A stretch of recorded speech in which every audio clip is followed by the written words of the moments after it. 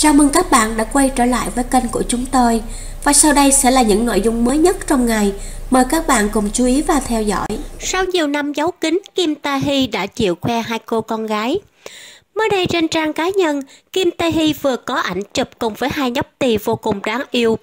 Nhiều người hâm mộ nhanh chóng cho rằng đây chính là hai cô công chúa của cô và ông xã Bijan vì cả hai khá giống cặp đôi. Các fan cho rằng Kim Tae Hee cuối cùng cũng khoe con sau thời gian giấu kín. Tuy nhiên, sau đó thông tin này được đính chính vì hai em bé trong ảnh chỉ tham gia quảng cáo với Kim Tae Hee mà thôi. Ngọc nữ màn ảnh hàng rất thích khi được chơi đùa với các mẫu nhí. Cô tỏ ra khá chuyên nghiệp khi bé trẻ nhỏ vì hiện tại đã làm bà mẹ hai con. Nhiều người nhận ra ở tuổi 41, Kim Tae Hee vẫn rất đẹp và thần thái dù đã qua hai lần sinh nở. Cô nhận được nhiều lời khen ngợi từ khán giả. Đây chỉ là nhóc tì mà Kim Tae Hee đóng quảng cáo cùng.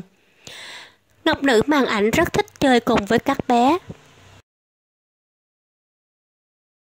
Bản tin của chúng tôi đến đây đã kết thúc. Cảm ơn các bạn đã quan tâm và theo dõi. Hẹn gặp lại các bạn ở những bản tin tiếp theo.